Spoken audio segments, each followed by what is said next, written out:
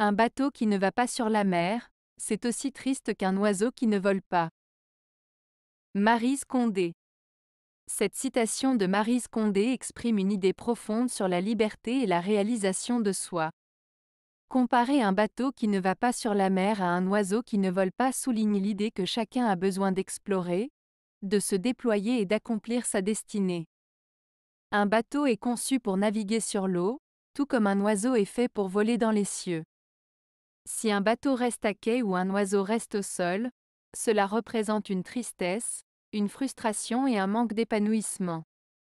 En somme, cette citation nous invite à réfléchir sur l'importance de suivre notre propre chemin, d'explorer nos horizons et de réaliser notre plein potentiel pour être vraiment heureux et épanoui.